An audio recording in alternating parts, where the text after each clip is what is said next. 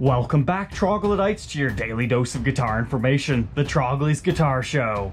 This is for you, the PRS Lunar Ice Silver Sky. How did I get it so fast and so early?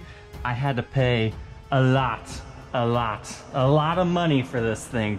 Believe me, I did not purchase this brand new from a shop. I had to pay the first scalper that I saw listed because most people aren't expecting to get these until like the earliest of February. I've seen a lot of pre-order dates all the way into like March, April, sometimes even later within the year. So instead of $26.99, I had to pay $5,125 for this guitar just so we can document it and be the first to create a quality video with this thing. So here it is. It comes in a gig bag. We talked about this last year when they introduced the Nebula, the first limited edition finish that PRS and John Mayer did together on his signature guitar. So you can check out that video if you want to learn a little bit more about like my first impressions to the PRS Silver Sky, as well as if you just want to see that color and everything.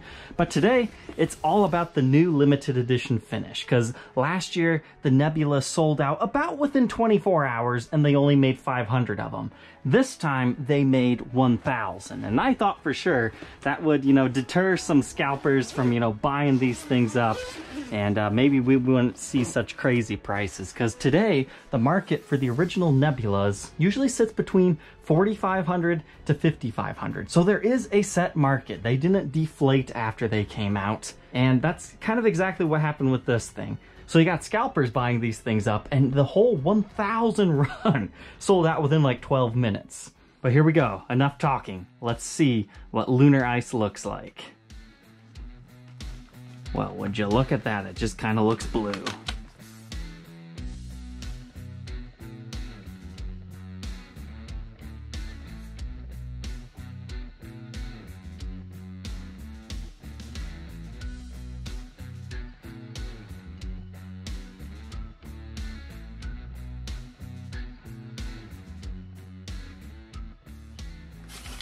Oh, this is interesting. That's something new. They've got a, a Velcro pad over top of that. Oh, that's actually quite ingenious, PRS. The reason why they did that is they don't want this poking through the top of your gig bag, so that kind of protects against that. I don't think the initial iteration had that.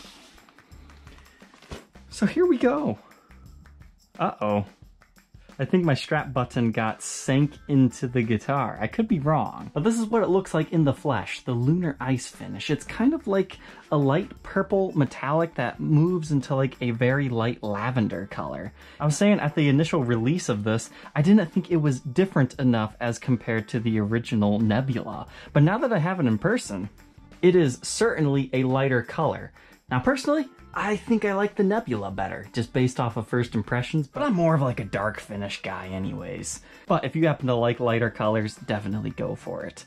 But the main topic today is mainly how I feel about a maple fretboard on the Silver Sky. Now, if you're not familiar with the Silver Sky, of course you can check out the other video, but it's John Mayer's and PRS's idea of a Stratocaster, but reimagined and amped up. I really enjoyed my Nebula. I thought it was a fantastic guitar, but I'm seeing just right away some interesting specs on these guys. Like it's not actually just a straight up maple neck like sometimes Fenders will have, where they'll just put the frets in the neck and the neck is also that. This appears to actually have a very thin fretboard over top of that. So we'll have to take some dimensions on the workbench. I wasn't expecting that. And of course we get the uh, PRS scarf joint that these things are known for. But kind of a cool thing about this one, this was at least one of the first nine left out into the public. I mean, you can see the date right here, 11321. This is one of the earliest ones. And that's why I paid such a big premium for it. But you can check out the original paperwork that the guy was sent from the dealer where they were allotted eight of them. And this was the very first one to be listed that actually has it in stock. And I kind of wanted to address that too because there were some rumors going around that PRS and John Mayer were really upset and they're having all the pre-sale listings pulled on Reverb and eBay. No, that's actually my fault.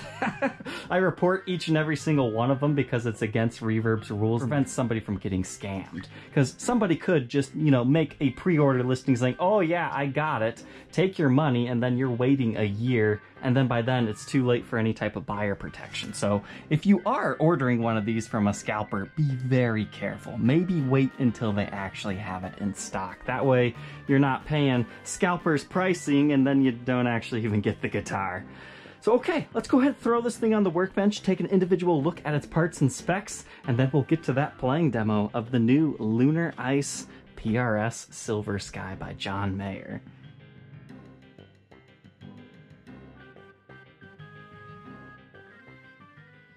the lunar ice, you can see the two different colors right here. You got that purple, and then you got the blue over here. Kind of turns a little bit of a greenish color hue too. I definitely see what they're going for here. So inside here, I mean, it's a pretty basic Stratocaster. They actually tell you what pickups are in them right on the outside here. It's the PRS 635 John Mayer style pickups, and that's the same for the neck, middle, and the bridge here. Stock from the factory, you do have a little plastic coating over top of this, so you can remove that if you want, or you can leave it on there so it kind of protects against some scratches.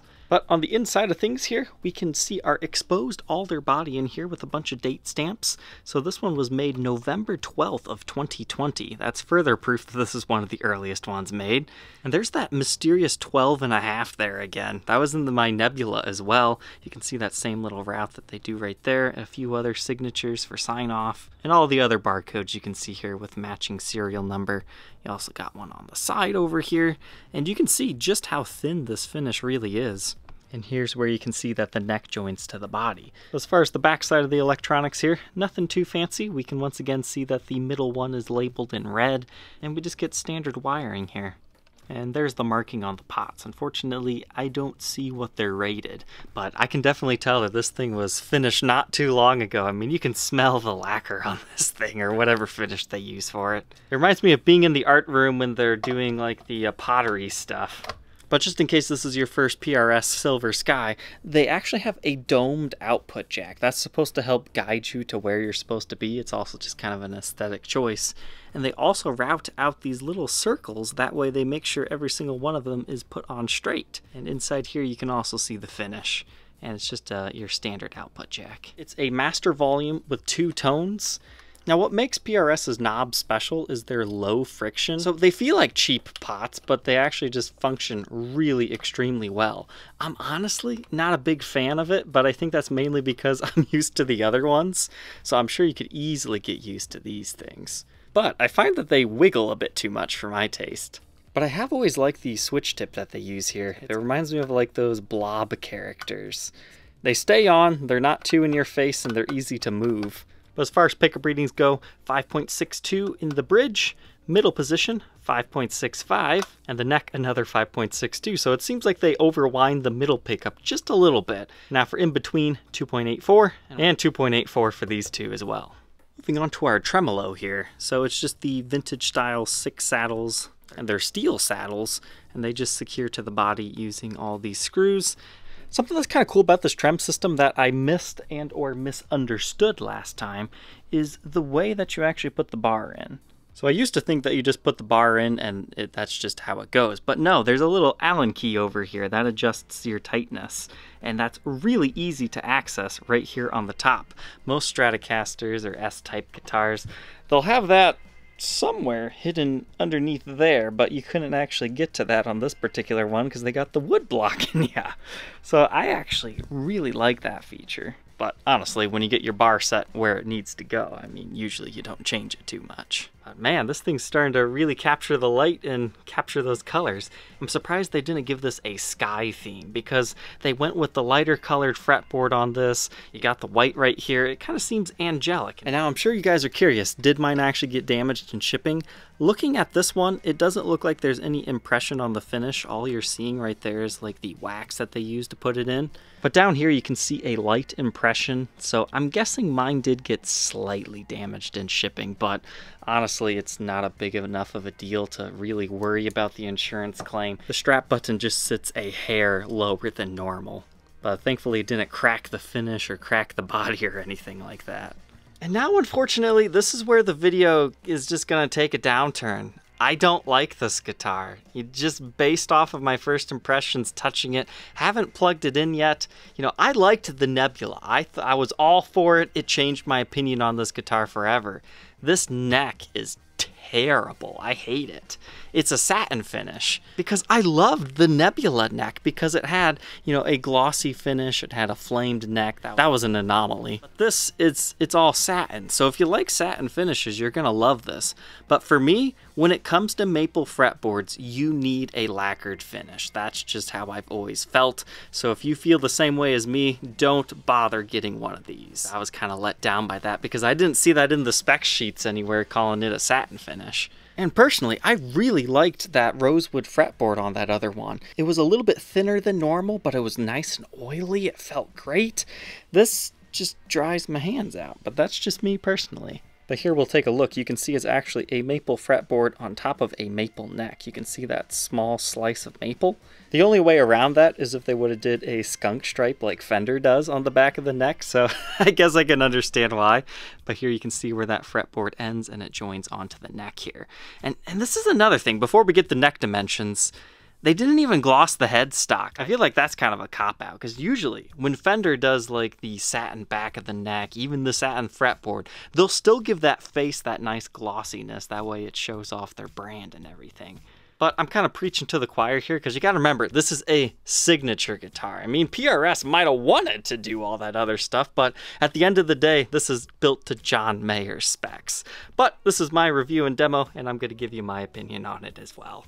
So this is a bone nut and it measures 1.64 inches. And by the 12th fret, we're rocking 2.04 as far as those dimensions go, but 0.9. That's what I've always liked about these PRS Silver Skies. They're pretty chunky. Yeah, it gets up to 0.97 by the 12th. That's what kind of makes it different from most Stratocasters, and I felt it was the best asset of that last one. But as far as the frets, we get 22 of them, and the maple fretboards, some people don't like this, that they, you only get the bird outlines. You don't actually get the true inlays. And this guitar uses the seven and a quarter inch radius, and we've got that familiar 25 and a half inch scale length. As far as the truss rod cover itself, it's just this dog tag looking like thing. It looks like it's a really lightweight aluminum or something similar. And here's what the truss rod itself looks like. And back to being all positive and everything, we get stock from the factory locking tuners. Basically, you, you pull them taut and then you use this. It's kind of like a fine tuner, but you put it all the way down, that locks it. So you're not fiddling around back here like locking Grovers or anything. And you get the plastic tips. Now, I get a lot of people that say, oh, I hate the plastic tips. Honestly, I like the plastic tips. They feel nice. Now, as far as QC, I am shocked that I found something wrong with a stock factory PRS because PRS is known for really good quality control. I'm really kind of bummed out about this. They don't have the finish all the way covering over there, so you can kind of see what looks like a chip. Now keep in mind this was technically a used guitar when I bought it, but I doubt he dinged it up or anything. That looks like something that left the factory. They probably didn't think too much about that because they thought the neck was going to cover it, so I'm, I'm a little bit let down about that. That's, that's definitely for sure, especially at the price point I had to pay. But as far as everything else, fantastic, but that was one small thing that I did find here. Now that we've got it all strung back up with some 10 gauge strings, let's go ahead and check out the back now. So stock from the factory, these do not get any type of plate over top of here. That way if you need to do any fiddling back here, you can with ease. It also makes restringing a little bit easier. So you can see what's really different between this and a regular Stratocaster is just how much space you have right here. These are set up stock from the factory to just be down trems only. It's not floating, which personally, I'm okay with that. But if you're curious, yes, a magnet does stick to the block and that's a nice thick block. And it comes stock from the factory with four springs. And you can see the finish inside of here as well as the tremolo screws coming out the back there. As far as the rest, it's just a very basic S-type guitar here with your cutaway right there. And just in case you missed it earlier, they have that PRS swoop right here, which kind of looks cool on these guys, especially when you get the uh, color changing. You know, that part's blue, the rest of it's kind of a purplish hue. Let's kind of take a second to take in this finish a little bit more. And here is our little neck plate here. just reads Silver Sky John Mayer model, limited edition, one of 1,000. Every single one says that. This is not number one, but it is one of the earliest ones released to the public. And thankfully we don't have any uh, cracks within the neck pocket at this time, but uh, again, we do have that light finish chip that uh, you could choose to let that bother you, but honestly, do you ever see it while you play? No, but it is there if you're looking. But just take a look at the difference between this neck and that last one I had, the Nebula. You can see the cosmetic difference, but I like the wood grain that I have on this neck. That's pretty cool. But again, it's the satin finish. Satin finishes make it great and easy to play, so who knows, maybe you might find this to be a plus. Personally, if I was going to keep this really expensive guitar, I would take some polish and I'd really go to town to kind of turn this into a semi-gloss. That's what I personally like, so it just comes down to your own preferences. I'm not hating the guitar, it's actually a pretty good guitar, but between my first one and this one, yeah, I would definitely choose my first one. But here is our little scarf L joint that PRS uses on these guys. And the tuner's just as we've seen before, kind of Kluson in style. But check this out. Even though it's technically a 2021 model, it still has a 2020 serial on it. So this is one of those ones that was in the factory that all the workers were not allowed to talk about. You guys can't talk about these things. All said and done though, this thing weighs 7 pounds 2 ounces, so with the bar, well, you're talking like 7.4. Let's go ahead, plug it in, and hear how this thing sounds.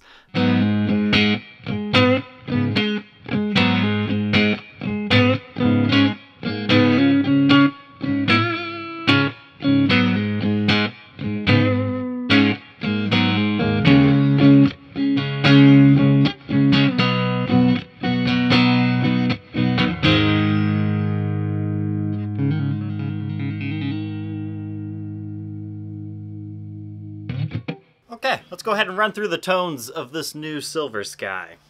I've got to say, now that I've had it for a day, I'm kind of warming up to that whole satin feeling neck now that my hands aren't all dried out anyways.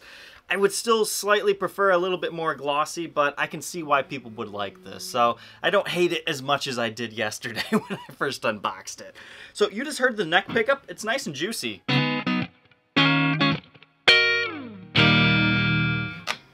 But then when you switch over to the bridge, it's a really bitey sound.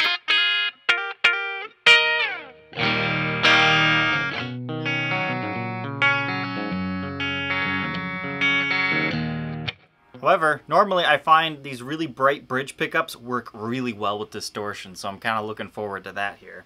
Now for our middle position.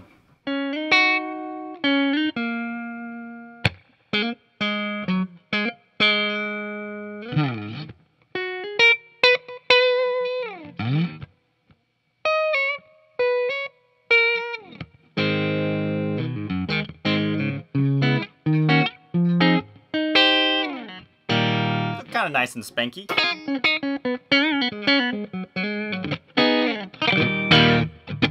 Now we'll do neck and middle together.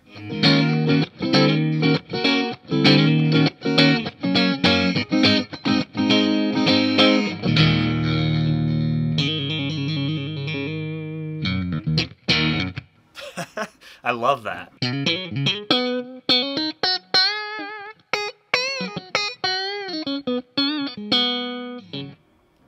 Bridge and middle together.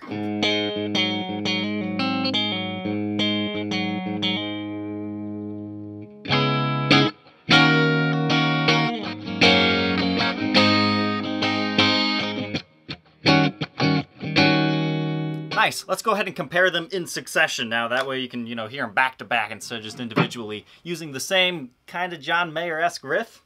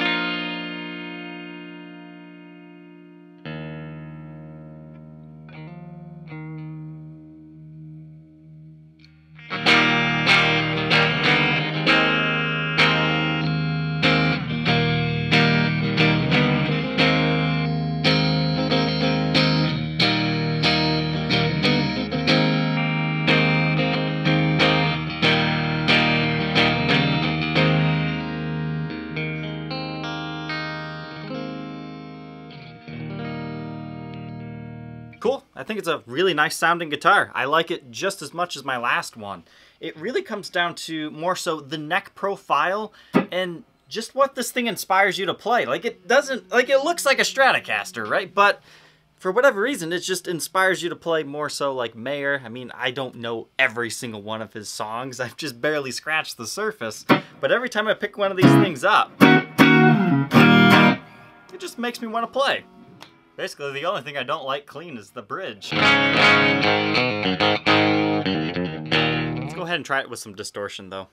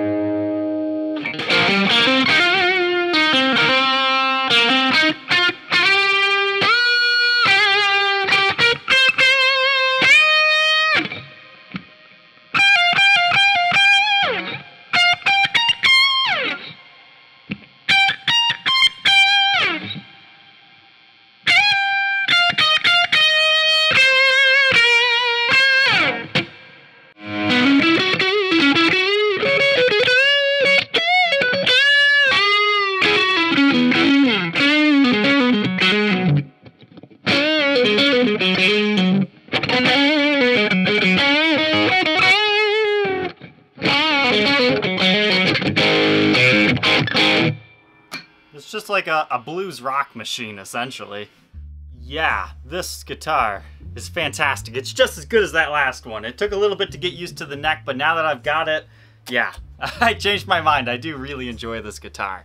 So is it worth paying crazy money for? That is only up to you to decide. So this year I thought we would get it a little bit earlier than all the rest of them. So ultimately, uh, what are some things to consider when purchasing this? I would tell you to keep in mind, once again, about the satin finish on the neck. You kind of need to play this thing in a little bit. Like if you just try it at the store and you go, ah, I don't like it, maybe actually take it home for a day or two, you know, within your return period and kind of just play it a little bit. It starts to feel normal again. But the other thing, it's just like the Nebula. This finish has a lot of static built up in it. I, don't know if you'll be able to see this, but you'll see like little areas where dust has just been attracted to this guitar naturally by playing it. Yeah, here's a good example of that right there. But besides that, I mean, man, I love these Silver Skies. I think I maybe need to try one of the regular ones, just so I know that it's not just the hype behind the finish that's making me love these things, but I think the pickups just sound absolutely fantastic. These are like strats, but they're different enough that you can justify owning one of each. So I'm really interested to see how I'll like the Fiore later in this year, because that's PRS's new Stratocaster style guitar, which is once again another signature instrument. Will I be keeping this one? No, I really like it, but I paid too much, so I think I'll list it while the getting is good, and maybe, just hopefully maybe, find another one a little bit cheaper later on down the road. Because I really do like these limited edition finishes, because I'm a super guitar collector, and the hype is real, and the market actually seems to be sustainable. Now these guys, you know, since there was a thousand of them, Here's what I'm predicting is going to happen. Prices are going to be very high, the few that ship out early. But I guarantee you, only about 250 serious buyers bought these just for themselves. I think the other 750 were bought by scalpers. So you're going to see these things get flooded on the market. And that, my friends, is the time to buy because people will be competing. So if you want mine, yes, you're going to be paying a premium because it's the only one for sale at this point in time. So if money's no object to you and you're willing to pay for the privilege of having it before everyone else, sure, it's available. I'll just get one later on. But I'm sure you're curious about the whole case situation, so I bought a PRS case and a couple of Fender cases to compare them. Let's go ahead and see that. I mean, it's a pretty decent bag. It's not garbage. It's not absolute trash. It's got a zippered pouch on the outside. That's where the bar and truss rod adjustment tool and stuff is. You get a little thing that you can put some picks into. The interior, I'm really impressed that they thought of this. It's, it's a little bit annoying, but helps make your gig bag last longer. It's got some decent padding. It's got some bumpers. It's okay. But you're probably wondering how much is a hard shell case? They're 200 bucks. But my last video, for some reason, I decided I would test if a Stratocaster would fit in the PRS case. And it does. It's a very tight fit. The strap buttons sometimes are a little bit of an issue. But I was curious, will a Silver Sky fit within a Fender case? I would hope so. Yeah, that fits fantastic. Fender cases generally have a little bit of wiggle room, just in case you know your dealer doesn't have a PRS case in stock or you don't want to purchase them because they are ridiculously heavy. Like these are known for being really chunky cases. Actually, I want to physically prove this. I mean, this is just one of the uh, Fender made in China cases. This thing weighs 11 pounds. I think these are like 160 bucks. I'll put that up on the screen. Then you get your plastic TSA style one. That's a little bit lighter at 10 pounds 3 ounces. And then our good old PRS case that doesn't have any branding or anything on it. I'm impressed. This one is not as heavy as my last one, so it's 17 pounds. You can still feel it's got some chunk to it, but I think PRS has definitely taken into consideration what some people are saying about their hard shell case, because this one feels a little bit lighter. I think that's new too. You get a little compartment in here. I wonder if they changed the fit at all. I mean, that, that just fits like a glove. I mean, this is definitely the superior case as far as fit. It's definitely going to protect your neck in multiple areas. But just for good measure here, let's make sure it actually fits this one too. because I'm sure there's going to be somebody curious about all this stuff. Maybe you want a different interior. Yeah, I mean, this one moves around. If you're going to get a case and you don't care about the weight, you're not lugging it around gig to gig, you just want something nice to store it in, definitely go for the real deal PRS. Now, if you're gigging, you might want to do the Fender one, but it does fit in all of them. So, Troglodytes, I hope you enjoyed taking a look at the PRS Silver Sky Lunar Ice with me. Absolutely beautiful guitar, but at the end of the day, it's up to you which finish you like the best. Oh, and I just found out why PRS cases are so heavy right up here. Made in Costa Rica. The Costa Rican cases, even when Gibson gets them made there, they're always super heavy too. All right, troglodytes, don't forget to like, comment, and subscribe, and we will see you tomorrow on the next episode. Take care.